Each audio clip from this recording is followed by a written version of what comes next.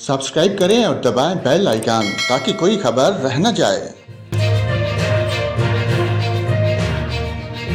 और नाजरीन, आपको बताएँ, बहावल नगर के इलाके फोर्ट आबास में तीन मजदूरों को धोखा देकर उनके गुर्दे निकाल लिए गए।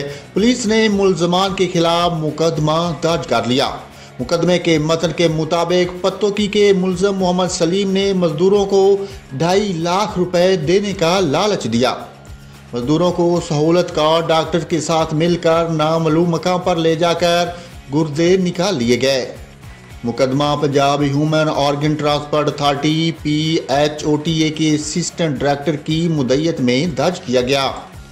मुलजम मोहम्मद सलीम मजदूरों को रावलपिंडी और फिर इस्लामाबाद ले गया। Assistant director vigilance P H O T A के मुताबिक तीनों मजदूरों के पेट पर ऑपरेशन के निशानात मौजूद हैं।